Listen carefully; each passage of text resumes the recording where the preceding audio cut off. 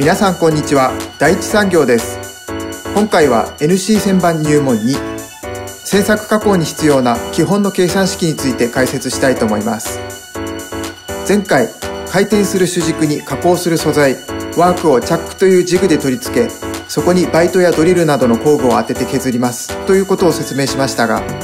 実際に加工する時には主軸を回転させる速度や工具を動かす速度などを決める必要があります。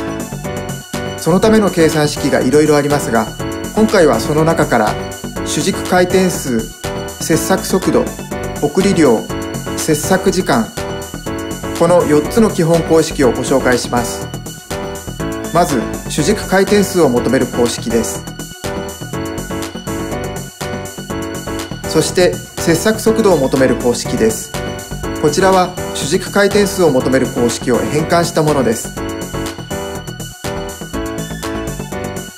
送り量はワークが1回転する間に工具が進む距離です。求める公式はこちらです。最後に切削時間を求める公式です。今回ご紹介した公式は基本的なものですので特に切削時間を求める公式は加工の内容によって変わってきます。このような計算式で算出された数値はあくまでも理論値でこれにワークの材質や切削工具の種類など様々な条件を考慮して微調整を繰り返し加工に最適なセッティングを追求していきますそれでは今回は NC 旋盤入門に